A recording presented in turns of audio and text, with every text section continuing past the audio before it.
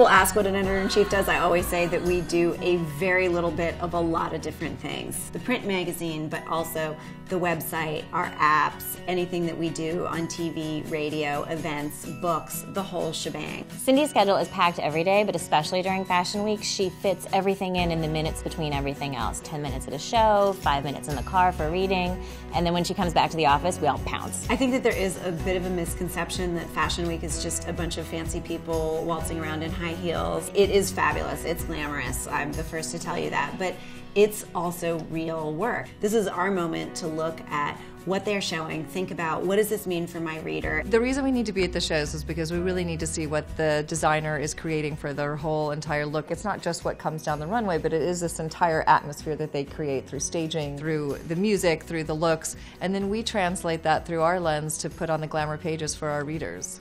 The hardest thing about Fashion Week is Cindi still has a full magazine to run, but when she's out at a million shows and she still has her family obligations, it's hard to get everything done. This New York week is the first of four weeks for my team. So there's New York, but it's immediately followed by London and then Milan and then Paris. And those are major shows. You can't miss them if you really want to understand what's going on. Do you ever do a count of how many shows you do every season? Sometimes. I once actually tried to tally it for my editor's letter, and it mm-hmm. came to about 1,400.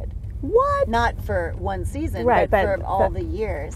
But then I didn't want to say 1,400 because I felt like it made me sound like I was 100 years old. I really like Phillip, and you know what stood out to me about his collection this year was that it was really a lifestyle collection, but so much of Fashion Week looks like special occasion dressing. Fantastic if you're a celebrity and you have all those places to wear things, but if you have the life that most of us have, you know, you want something that spans the, the width of that. And I thought that Phillip Lim just brought a really you know, deft, stylish hand to great casual clothes. We're not seeing enough of that.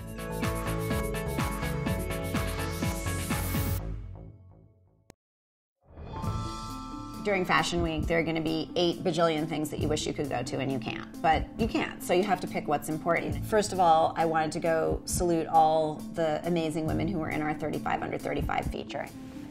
I think that they said that they had 250 RSVPs. Oh my God. I think they only have capacity for like 80 people. This says 285. Or 285, yeah. 285 for 75 people. people. is making me really anxious. Is someone down there right now? Yeah. Already? Yeah, they're all down there. Can you call Do down want- and yeah. find out if it's already Definitely. crazy? Okay. And staff knows that they have to leave if it gets too crowded. I will communicate that to, Okay. to Jen and, and Leslie and co. Okay. All right. Cool. All right, cool. Thanks. The Glamour Party venue can only hold about 75 people, max, I'm told, but at the moment we have 285 RSVPs. There's a small chance it could be an unmitigated disaster. Oh my god, it looks like a sex club.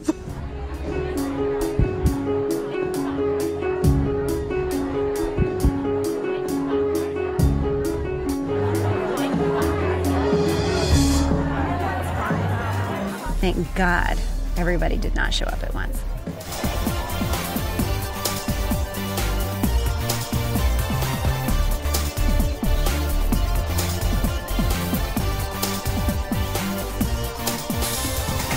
It's really important that Cindi show up at these industry parties. People want to spend five minutes with her, they want to have FaceTime. Glamour's publisher Bill Wackerman was throwing a party that night for a designer he's friendly with, and so I wanted to be there to support him.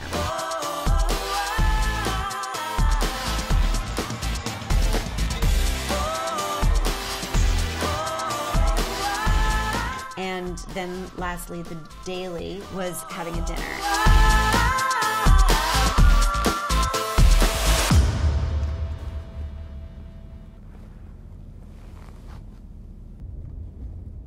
What do you think? Are you sure you're going to be driving tomorrow morning? Can you make it, you think? Or no? Tomorrow in the morning is no snow in the morning. No, it says it's going to start at 6 in the morning. In the morning. That's what this says. Ah. Let me see what I can find on the Times. Next time on Fashion Week Ride Along. It's snowing in New York City, and by tonight, this storm is really going to start intensifying here. Make sure to subscribe so you don't miss any episodes of Fashion Week Ride Along.